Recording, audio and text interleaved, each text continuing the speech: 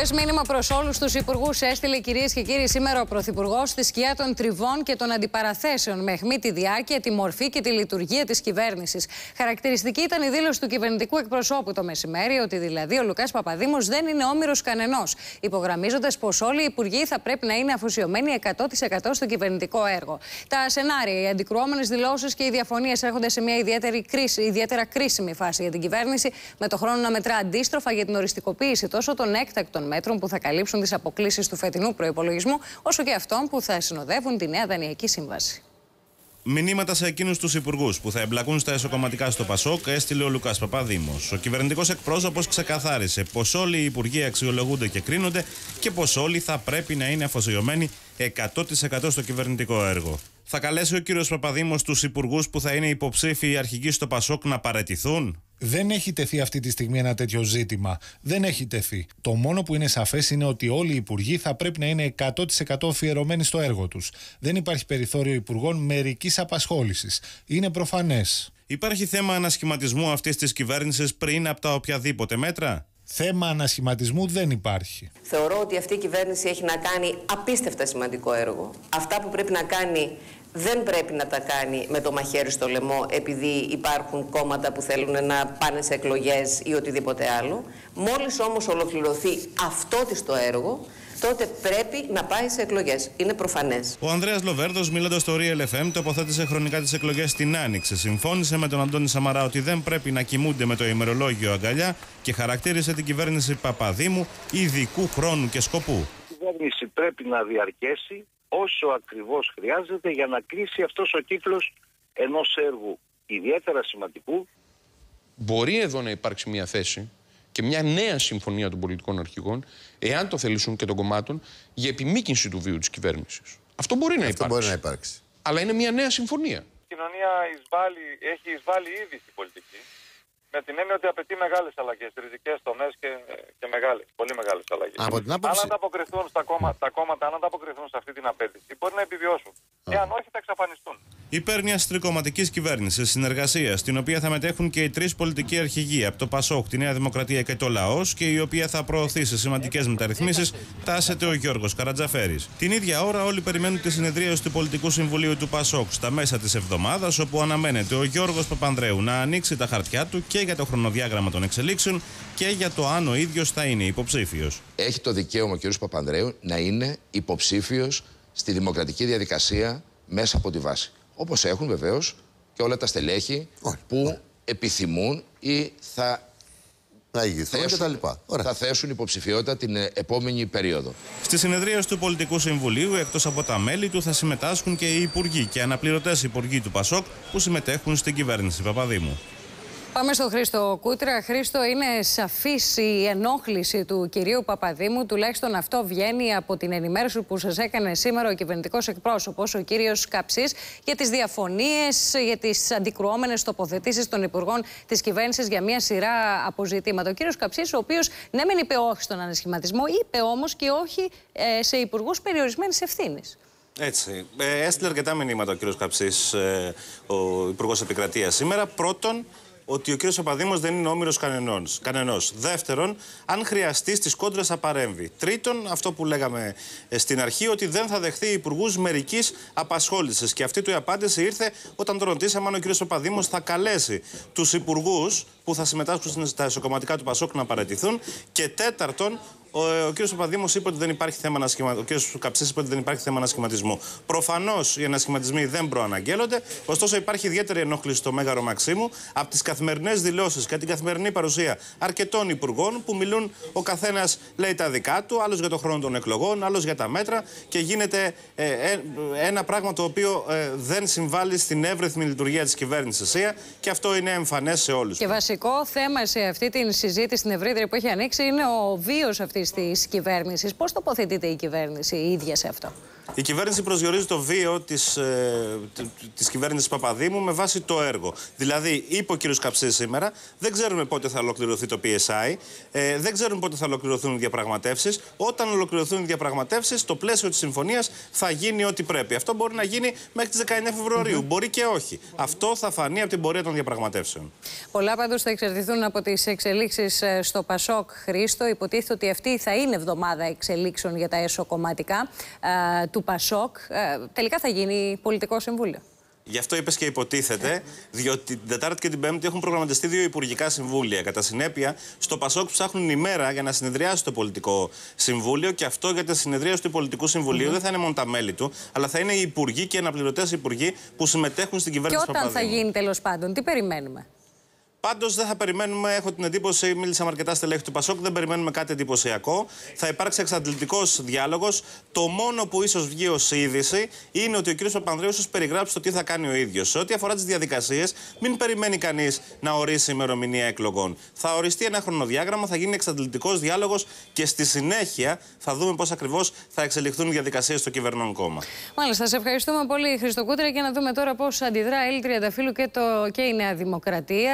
Ε, η οποία επιμένει ότι δια των στελεχών της επέμεινε και σήμερα ότι στην ημερομηνία των εκλογών που έχει οριστεί, δηλαδή στη 19 Φεβρουαρίου. Έτσι είναι, Σία. Η Νέα Δημοκρατία παρακολουθεί με προβληματισμό τη ζωηρή συζήτηση περί επιμήκυνσης του βίου της κυβέρνησης Παπαδήμου και μένει ότι οι εκλογές θα πρέπει να γίνουν στις 19 Φεβρουαρίου όπως έχει αποφασιστεί ή έστω λίγο αργότερα αν αυτό απαιτηθεί προκειμένου να ολοκληρωθεί η δύσκολη διαδικασία του κουρέματος του ελληνικού χρέους. Το επιχείρημα που αρθρώνει δημοσίως ο κ. Σαμαράς είναι ότι με τη σύμφωνη γνώμη των τριών πολιτικών αρχηγών η κυβέρνηση αυτή έχει μεταβατικό χαρακτήρα και απολύτως προσδιορισμένο έργο και ότι η προσφυγή στις κάλπες αποτελεί τη μόνη δικλίδα ασφαλείας για την αποφυγή εκτεταμένης κοινωνικής έκρηξης. Με την άποψη του κ. Σαμαρά φαίνεται να συμφωνεί και η πλειονότητα των γαλάζιων στελεχών πλην ελαχίστων, μεταξύ των οποίων και ο αντιπρόεδρος του κόμματος και υπουργός άμυνας ο κ. Δημήτρης Αβραμόπουλος. Εκλογές και αμέσως μετά αποφάσεις για νέα μέτρα. Εδώ είναι το κομβικό σημείο για τον κύριο Σαμαρά, ο οποίος προεξοφλεί ότι στις αρχές του νέου χρόνου με την επιστροφή των εκπροσώπων της Τρόικας στην Αθήνα θα ξεκινήσει νέος γύρω σκληρών, σκληρότατων πιέσεων για συνένεση στη λήψη μέτρων εδώ και τώρα. Μέτρα δηλαδή για την εξέβρεση των 2 και κάτι δισεκατομμυρίων ευρώ που θα απαιτηθούν για την κάλυψη των αστοχιών του προπολογισμού του 2011 αλλά και για τα 7 δις για τη διετία 2013-2014. Ο κύριος Σαμαράς δεν επιθυμεί να συνενέσει ούτε στα πρώτα ούτε στα δεύτερα διότι κάτι τέτοιο, όπως λένε συνεργάτες του, θα τους στερούσε το βασικό εκλογικό διακύβευμα που για τη Νέα Δημοκρατία είναι η εντολή άσκησης πίεσης στους δανειστές για τροποποίηση της μέχρι σήμερα πολιτικής. Υπάρχει πάντως και η άλλη άποψη. Ακριβώς. Είναι δύο οι σχολές σκέψης. Η πρώτη, την οποία ασπάζεται και ο κύριος Σαμαράς που λέει όχι σε νέα μέτρα πριν τις εκλογές και η δεύτερη που δεν θεωρεί ως χειρότερη εκδοχή τη λήψη των σχετικών αποφάσεων από την κυβέρνηση Παπαδήμου προκειμένου και να απαλλαγεί η Νέα Δημοκρατία από αυτή την ευθύνη στο μέλλον αλλά και ε, να γίνει το έργο πάρα πολύ γρήγορα. Μένει να αποδειχτεί η ΣΥΑ ποια από τις δύο στρατηγικές θα είναι πιο ανθεκτική στις πιέσεις. Ακριβώς. Έλλη Τριανταφύλλου, να σε ευχαριστήσω πολύ. Καλά. Να καλησπέσω εγώ εδώ τον διευθυντή της εφημερίδας Καθημερινή, Αλέξη Παπαχελά. Αλέξη, καλησπέρα. Το ερώτημα νομίζω είναι εάν μπορεί ο κύριος Παπαδήμος και η κυβέρνησή του μέσα σε αυτό το περιβάλλον, μέσα σε αυτό το κλίμα που διαμορφώνεται, να προχωρήσει στις δύσκολες αποφάσεις που όλοι γνωρίζουμε ότι υπάρχουν μπροστά. Να στο πω αλλιώς, Εάν αυτή η κυβέρνηση αποτύχει για τους λίγους μήνες που έχει θητεία, σημαίνει ότι θα καταρρεύσει και η χώρα. Είναι πάρα πολύ απλά τα πράγματα. Εάν δηλαδή δεν υπάρξει μια συμφωνία με την Τρόικα σε, κάποιο, σε ένα νέο πακέτο επασχετών μέτρων που είναι κυρίως διαθροτικέ αλλαγές. Αυτό που θέλουν δηλαδή είναι να γίνει κάτι θεαματικό στη μείωση του κράτους. Όχι μείωση συντάξεων, να κλείσουν κάποιοι οργανισμοί. Όλα αυτά τα πράγματα για τα οποία μιλάγαμε τόσο καιρό και δεν έχουν γίνει. Αυτό λοιπόν είναι το βασικό. Και αν δεν πάρουμε το PSI α, μέσα στο Φεβρουάριο, στις αρχές Μαρτίου, το αργότερο που έχουμε να πληρώσουμε πολλά λεφτά σε ένα ομόλογο, η χώρα θα καταρρεύσει. Λοιπόν, δεν μπορεί αυτή η κυβέρνηση να αποτύχει. Αν κάποιοι τώρα θέλουν να τη ρίξουν αυτή την κυβέρνηση ή θέλουν να την εξευτελίσουν ή να την αποδομήσουν με ένα πολύ θεαματικό τρόπο για δικούς τους λόγους, εμένα μου πάει το μυαλό ότι έχουν άλλα συμφέροντα. Προφανώς θέλουν την κατάρρευση γιατί θέλουν την έξοδο από το ευρώ ή θέλουν κάτι άλλο το οποίο εγώ δεν το καταλαβαίνω. Νομίζω ότι συμφώνησαν τα υπεύθυνα κόμματα να, να στηρίξουν αυτή την κυβέρνηση για να κάνει αυτή τη βρώμικη εισαγωγικά δουλειά, πασερτώσει, να πάρουμε τα λεφτά του PSI που είναι πολλά λεφτά για να μας τα εμπιστευτούν οι ξένοι και να πάμε παρακάτω με μια νέα κυβέρνηση που θα βγει από τις εκλογές. Αυτό νομίζω είναι το σενάριο και πραγματικά θεωρώ εντελώς τρελό κάποιος να θελήσει να ρίξει τώρα ή στα μέσα Ιανουαρίου αυτή την κυβέρνηση. Θα μπούμε σε μια μεγάλη περιπέτεια και τουλάχιστον οι πολιτικοί ηγέτες που συμμετέχουν σε αυτήν την κυβέρνηση και έχουν, τη στηρίζουν, γνωρίζουν ακριβώς γιατί μιλάμε. Στην ουσία όμως μπορούν να συνεργαστούν αυτοί οι υπουργοί της κυβέρνησης, Αλέξη, και μέσα σε όλο. Στο, με φόντο τη διαδοχή στο Πασόκ, γιατί είναι ένα θέμα που προκαλεί και τριγμούς στην ε, κυβέρνηση Παπαδήμου, όπως παρακολουθούμε. Στην ουσία μπορούν να συνεργαστούν λοιπόν για να δώσουν αυτά τα αποτελέσματα.